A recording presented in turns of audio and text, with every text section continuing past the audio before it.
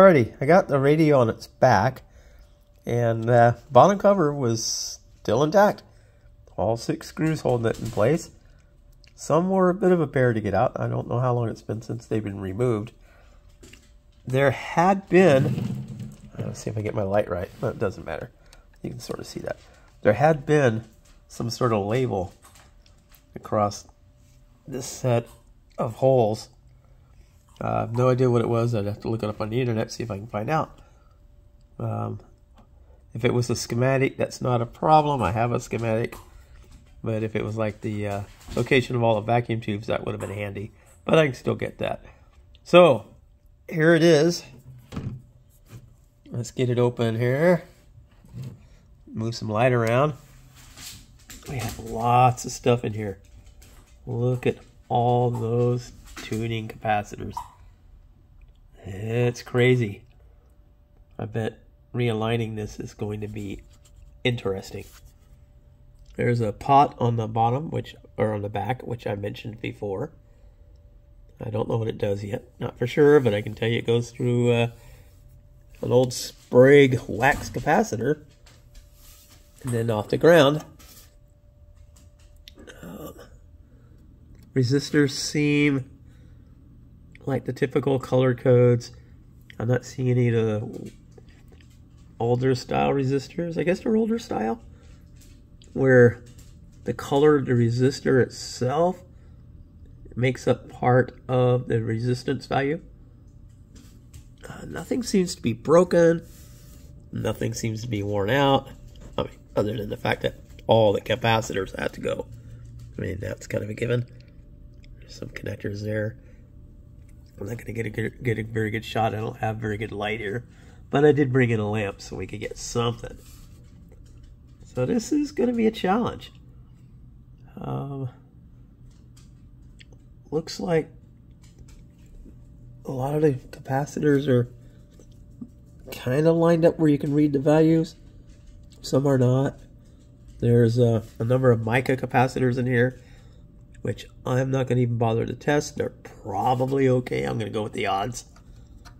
Um, the insulation on the transformer wires is not peeling off. The wire's really stiff, but the insulation seems to be okay. That's the power cord. I'm going to have to get behind this transformer to replace it because it disappears back behind there. So I'll have to look at how to get past this transformer because uh, the power cord's got to go. But we can see the backs of all the vacuum tube uh, sockets. And they all look good. I don't see anything broken. No cracks.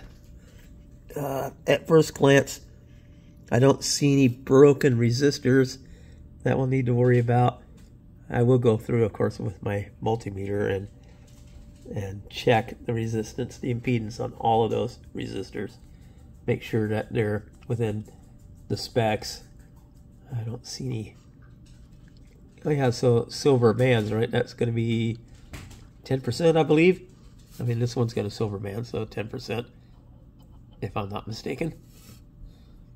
I'm not sure what this is here. I don't know if you can see that or not. I'm not sure what that is. I'll dig through the schematic figure it out.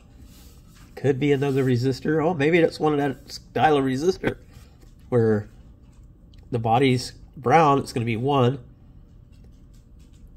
5%. I have no idea. Um, 10%. And then black, so maybe this is a, well, I don't know.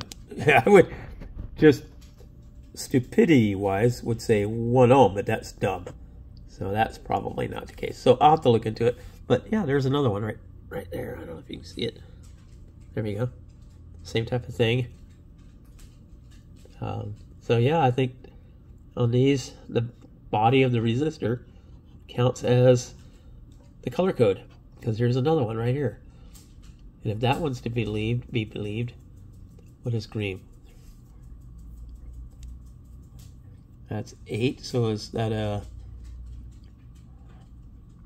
I don't know 100 k ohm resistor or one mega ohm resistor? I'm way out of practice. I used to be able to just read those codes in my sleep back when I was younger. So yeah, I mean, it looks pretty clean actually. I'm not the least bit worried about the chassis. Uh, looking at the back side of the bottom cover, there's no evidence that any of the old wax capacitors have leaked down in here. Um, and although I would not expect any of them to actually be functional, none of them seem to have any external damage. There's no bubbling, nothing's all sticky. Um, they feel fine. But yeah, they're not to be trusted. So they gotta go. So I'll have to get on to ordering parts. And we'll see what we can do with this. Uh, not the least of which is a new power cord. I'm gonna go ahead and buy a uh, a proper power cord so that uh, you can only plug it in one way with the wider uh, blade for uh, for for neutral. That will help keep this a little safer. Although I'm not that worried. I mean, everything's going through a transformer in this one. So it should be relatively safe, which is good because this is not a wood or plastic case. Everything's metal. Uh, somebody had made notes, stuck labels on the bottom of things. Uh, there's one marked pad, one and three. I'm not sure what that's all about. If I flip this up, uh, put that back up. There's labels here for oscillator, or yeah, I'm to say uh, oscillator, uh, RF antenna. Uh, maybe he's talking about these three circuits. So oscillator, RF circuit, antenna circuit. That would be a pretty good guess, judging by the fact that that bottom set does appear to go down here to what appears to be antenna jacks. Again, though, without looking at the manual, I don't know that for a fact because I thought over here was antenna jacks, but you know, that seems to be something else entirely. So I don't know. Anyway, that's all I know. I'm just babbling at this point. I am completely and utterly amazed at how good this looks in here. Um, and most of it seems to be relatively easy to reach. So I might have pretty good luck getting into everything to do this. Um, it looks like I can take this this bottom surround off. All of this. Where like, oh, that rubber foot's loose. I'll have to fix that. Uh, I don't know if it can be tightened. Oh yeah, the screw's just loose. Uh, that, sorry, this rubber foot right here has a loose screw. So at least they're all there. All the rubber feet are there. Uh, they don't really feel like rubber anymore, but they're there. But yeah, I think I can take this surround off.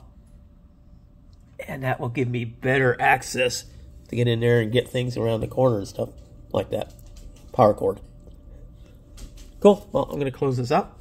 And we'll see how this goes over the next few months. Um, oh, that's a, oh, that's a bit disconcerting. We got this wire here wrapped around itself and it doesn't seem to go anywhere. It doesn't go there, or if it does, it would have been right here, but there's wire soldered there. There's a wire here, there's a wire back there. So, where did this go? So, I'll have to look into that. Um, you gotta like this type of solder work, board making. Well, wire to wire wrapping because there's just a giant lead sticking out right here.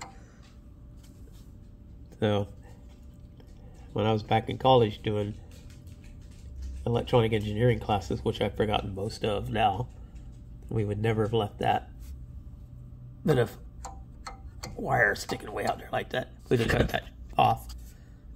There's probably no reason to have it on there.